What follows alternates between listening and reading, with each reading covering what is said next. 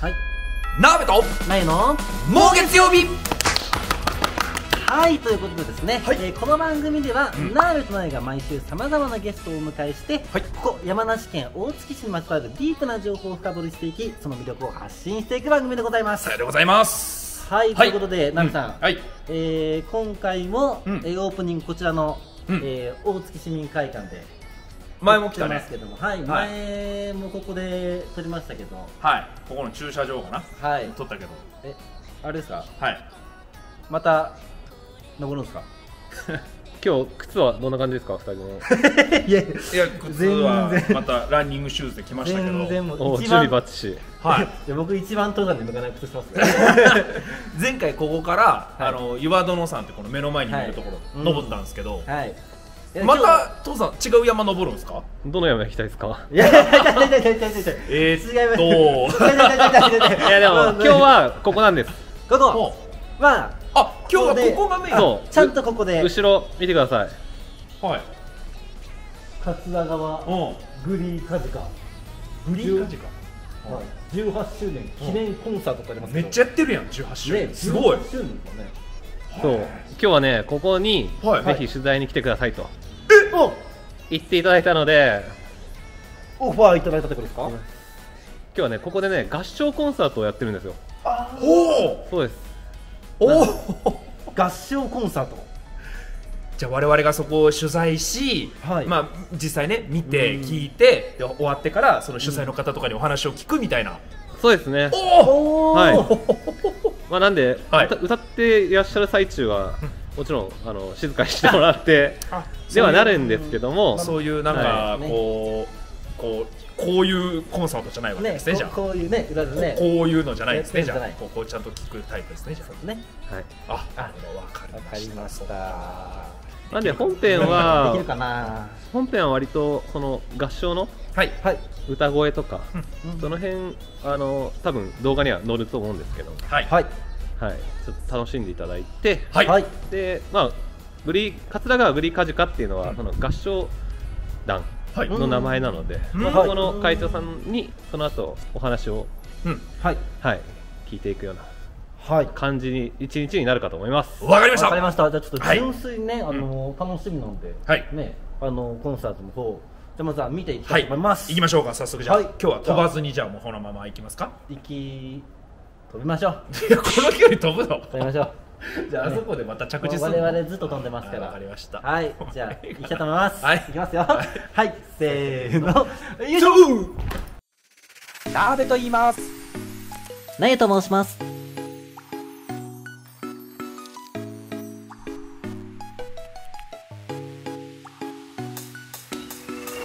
鍋となゆのもう月曜日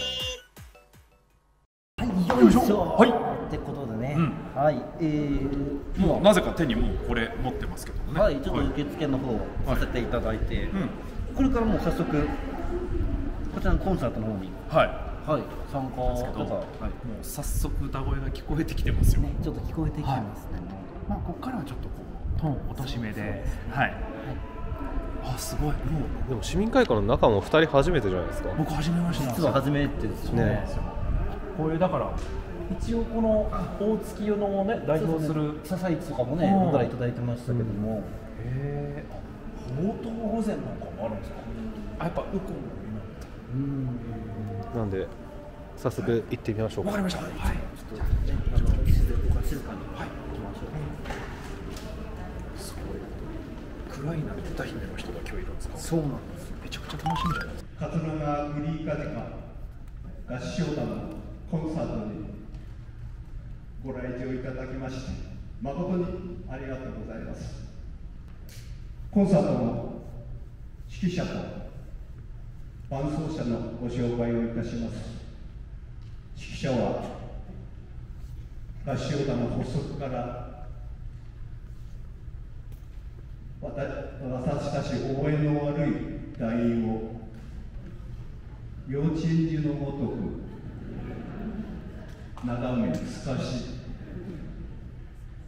辛抱強く指導をいたしてもらっております中村真由美先生です。伴奏者は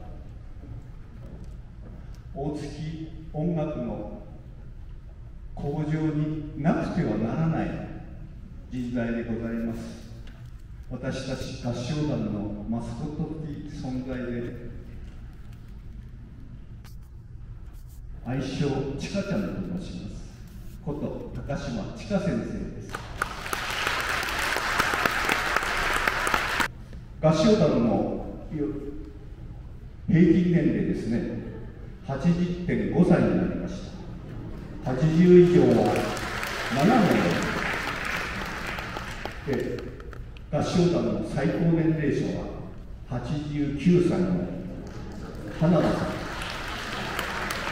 担当しようとです藤沢さんどうぞおかけください。それからこれからこの壇上において伴奏の高島先生を除き以下は全員後期高齢者となって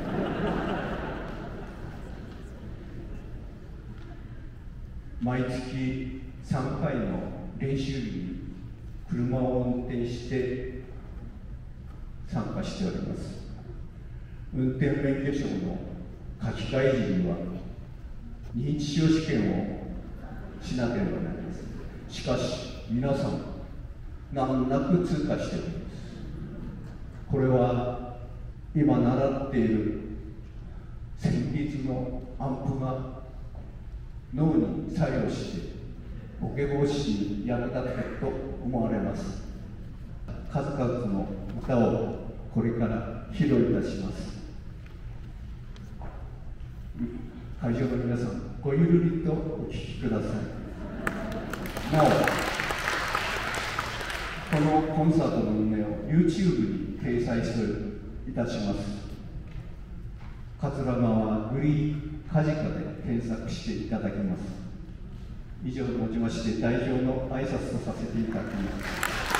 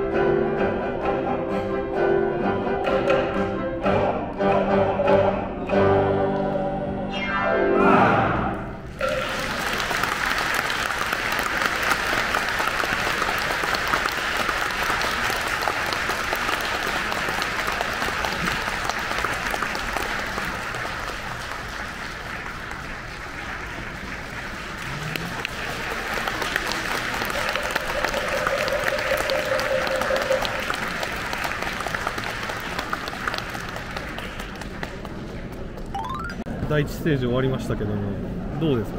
でもやっぱあのすごい皆さん楽しそうに歌われてるのがすごい僕は好きですね、すごいね。みんな笑顔で。は会場もなんかあったかいよね。いあったかいですね。すごいあったかいですでやっぱ手拍子したり。そう18年やってるっていうのはやっぱそれだけ。愛されてますもんね。うんってことやね。すごいわ。でもすごいですよ。あの毎週2日月金だったかな火金だったかなにあの皆さん練習されてて朝っすよ朝。もう7時半。みんな朝ラジオ体操してた。始まる前。意気込みだってね。そう。すごいわ。えーご紹介いただきました大木市長の小林でございます、えー会場に入ってきてですね多くの皆さんがいるなっていうのがまず感じたところです。またですねこの、えー、ポインセキュアですかねこの花がですね、非常にこう会場の雰囲気を明るくしてくださっていまして、えーこれまでもですねさまざまな歌を聴かせていただく中で本当に楽しいなということを心の底から感じさせていただきました、えー大きな声でですねあのまあ、口をしっかり開けて、そして、えー一人の方はですね自分が伴奏を指揮をしてるんじゃないかというぐらい、体でこうあの、えー喜びを表現するような、あのそんなあの楽しそうな姿を見てですね、えーやっぱりこちらも心が元気になるな、豊かになるなということを、えー本当に感じさせていただきました。本当に、えー皆さんとこのように、えー18周年の、えーグリーンカジカの記念コンサートに、えー来てお聞きできることを本当に嬉しく思います。えーまたご開催本当におめでとうございます。で、えー今日はですね、この楽しい失礼の中で皆さんと共に心が晴れやかに、えーこの体験ができることを本当に嬉しく思っております。えーこれから、えーウクライナのあの支援をここで、えーチャリティーコンサートをやったオクサーナさんがまたこれから本当に神様のような声を聞かせてくれると思います、え初めてその声を聞いた時にですねどこまで高い音が出るんだろうって本当際限ない高い声が、本当に印象に残っておりますので、これからもそれを楽しみにしていきたいと思います。また最後にはですね、え皆さんと共にふるさとを歌うというような機会もありますので、ぜひとも皆さん、健康のためにも大きな声で皆さんと共に歌いたいと思いますので、えー今日は秋の一日を心行くまで楽しみたいと思います。えー本当にこれまでも多くの活躍をされております方々が多くいらっしゃる桂川グリーンカジカの皆さんのますますの、えー発展と、それから、えー本日ご来場いただきました皆さんのご健勝を記念いたしまして簡単ですけども挨拶とさせていただきます。本日は本当におめでとうございます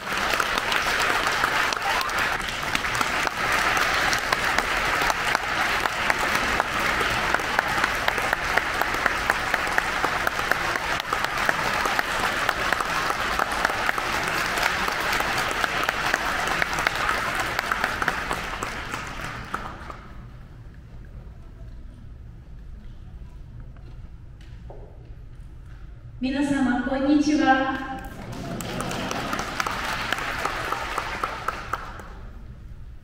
大月市民会館にて歌わせていただき本当にありがとうございます私はウクライナ出身オペラ歌手バンドゥラ奏者コロラトゥラソプラノオクサーナ・スパニュークと申しますどうぞよろしくお願いします「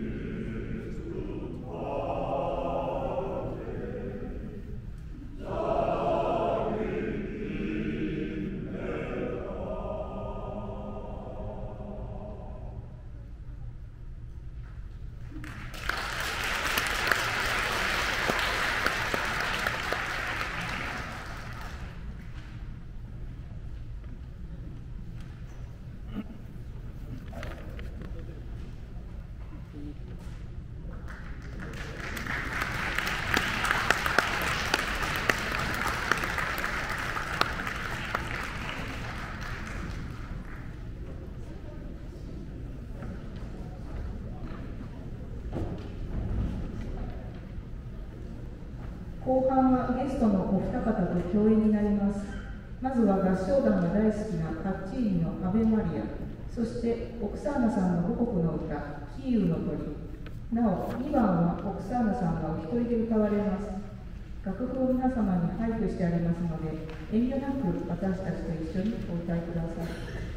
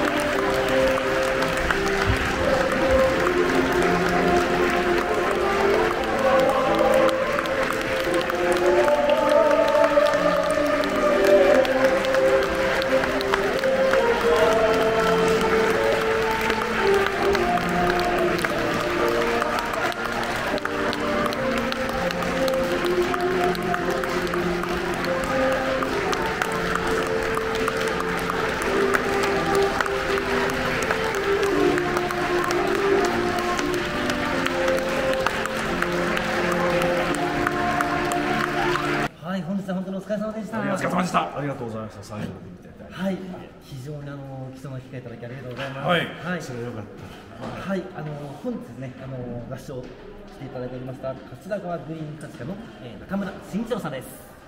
中村です。はい。